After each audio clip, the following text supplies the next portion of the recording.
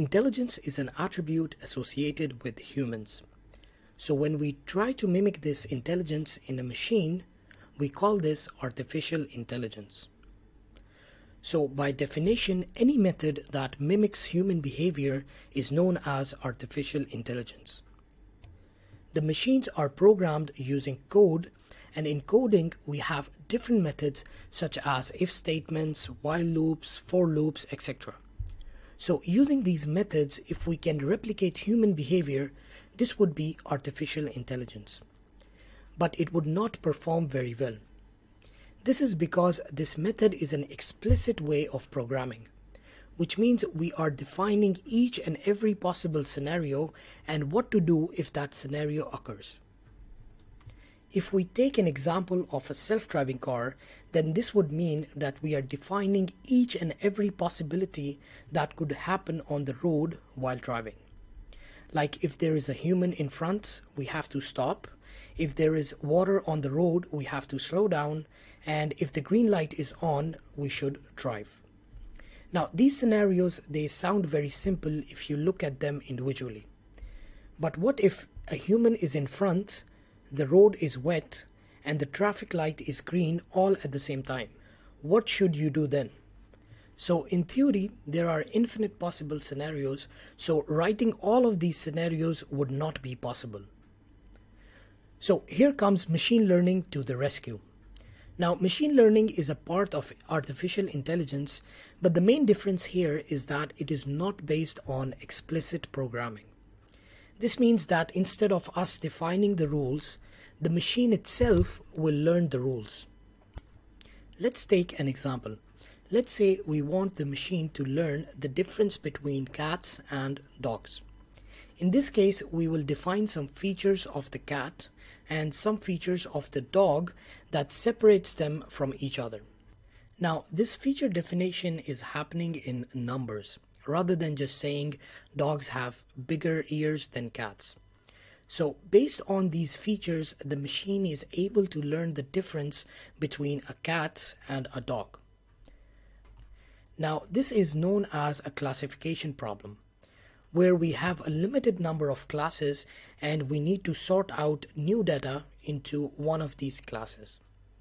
The other main type of problem is the regression problem where we have a continuous number rather than limited classifications.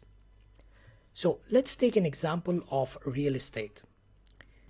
Let's say we want to know the price of a house based on its location, number of beds, and the size in square feet.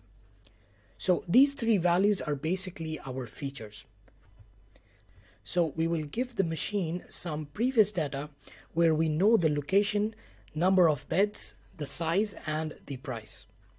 So once the machine trains itself, it would be able to give an estimate price of the new house given the location, the number of bedrooms, the size in square feet is provided. Note that the price here is a continuous number like 352,000.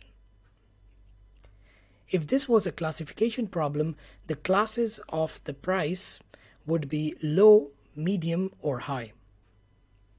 So the two major types of machine learning problems are classification and regression. But even with the machine learning, the process is not fully intelligent, as humans are the ones that are providing features in order for it to learn. In the case of the cat and dog classification, we had to define the features of a cat and features of a dog. So now comes the deep learning to the rescue. Deep learning is a subset of machine learning. The idea of deep learning is inspired by the human brain that consists of billions of neurons. Based on this neuron architecture, we create an artificial neural network. And when this neural network has multiple layers, we call it deep neural network. Hence the term deep learning. So here the idea is that we just show the machine different images of cats and dogs and it finds the relevant features that separate them by itself and trains itself to differentiate between cats and dogs. This method is closest method to the human intelligence and therefore has shown promising results in many different fields. Let's take the example of a self-driving car for understanding this further. As humans, we just see the surroundings from our eyes and based on that, we decide on whether to brake, accelerate or steer the car. Now, this we learn over the years by observing and practicing. In our head, we are not calculating actual values. The same way we can collect images from a camera and record the steering angle, acceleration, and the braking values. And then we can use this data to train our machine. Now, when a new image is shown to the machine, it will decide by itself how much to accelerate, brake, and steer. Note that in this example, we did not define any features such as road lanes, bumps, or even obstacles. It observed and learned by itself which features are relevant for driving. This is how most big companies are approaching the self-driving problem. In fact, NVIDIA even shared their self-driving AI model and their results. They were able to drive a car using this method by just training the model with 72 hours of driving data. So, in summary, AI is mimicking human behavior by any means, whereas machine learning is a subset of AI that does not use explicit programming. That means that it is not using any fixed rules, but requires features from humans. Deep learning is a subset of machine learning that does not require any feature definition from humans it is able to decide by itself which features are relevant and train itself on the given data. There are two main categories of problems.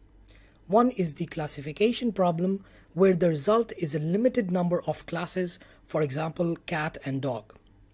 The other one is the regression problem, where the result is a continuous number, for example, price of a house.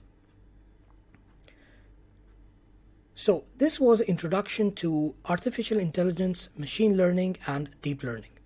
In the upcoming videos, we will explore each of these in detail and we will look at the practical examples including their coding. So if you like the video, give it a thumbs up and I will see you in the next one.